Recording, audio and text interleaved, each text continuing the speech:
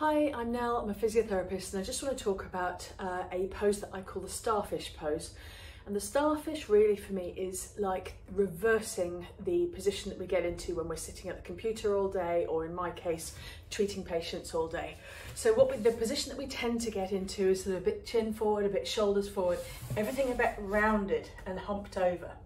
And in the long term, if we stay in that position for a really long time, our bodies can kind of adapt to that position. We develop our sort of turtle chin, our dowager's hump, we get shorter and we physically, our, our the discs in our spines, uh, they, they can shrink and dehydrate and we physically get shorter over the years.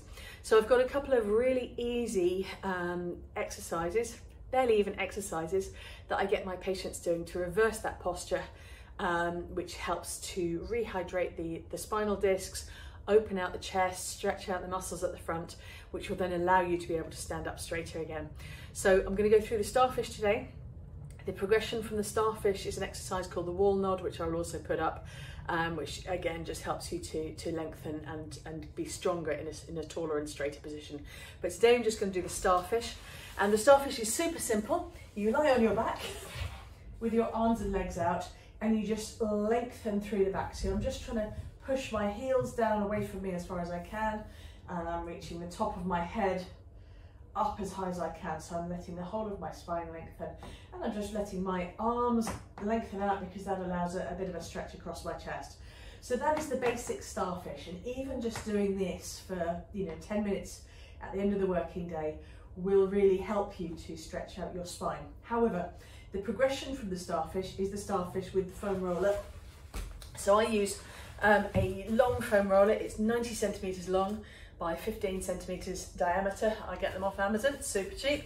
And then I'm just gonna rest my butt on the end of the roller and I can rest my head at the other end.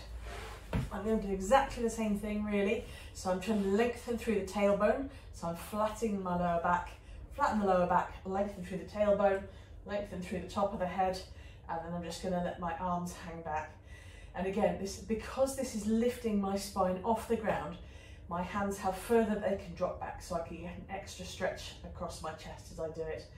And so this is the sort of advanced version of the starfish. If I want to get more stretch across my chest, I can bend the elbows and just come to here and gravity will just help. So the idea here is really just that we are getting gravity to be on our side to help us to lengthen out as opposed to when we are sitting or standing all day and we're just compressing through the spine. So that is my version of the starfish exercise and I think it's one of the exercises that can help us to maintain spinal health and prevent disc shrinkage as we get older.